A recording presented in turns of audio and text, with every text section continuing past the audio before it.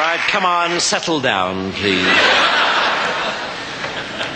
Answer your names. Anus.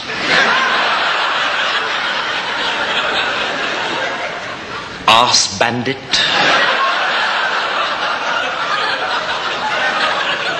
Bottom. Clitoris. Where are you, clitoris?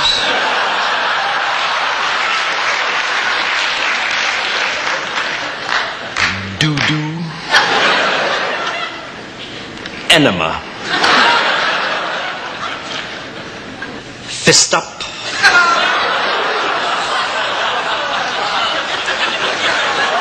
Come on, grow up, please.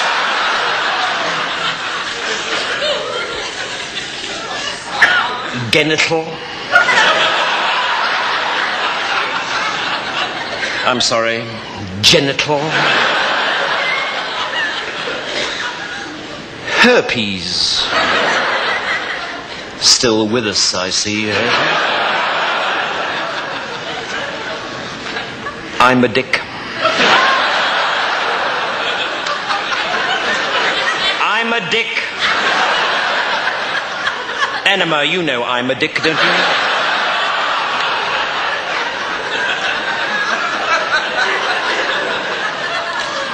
Ejaculation.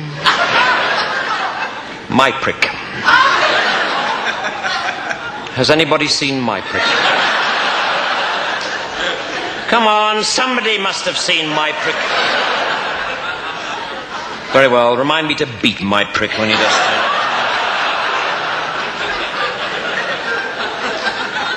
Nice and quick.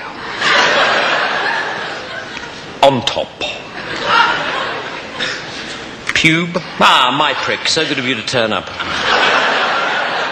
Yes, well, now that you are here, my prick, perhaps you'd like to find a seat. Bottom squeeze my prick in somewhere, though.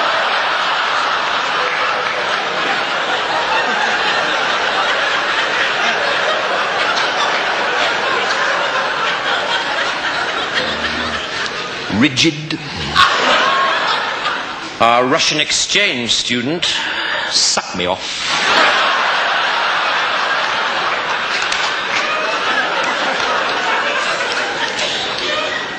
Tight fit.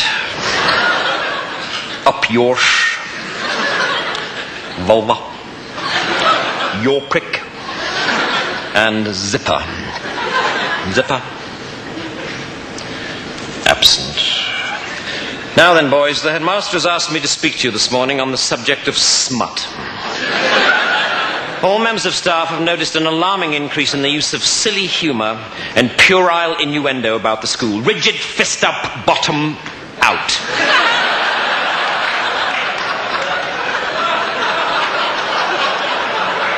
There have been some disgusting doodlings on the walls of the lavatory. Sit up straight on top. One or two unpleasant health magazines have been found. If you fall asleep on top, I shall be very annoyed. And Mr. Hardon tells me that there's been a great deal of sniggering in his biology class. Tight fit, heaven's sake, leave your prick alone. I don't care. Your prick had no business poking into your desk in the first place. I will not put up with this kind of behavior, boys.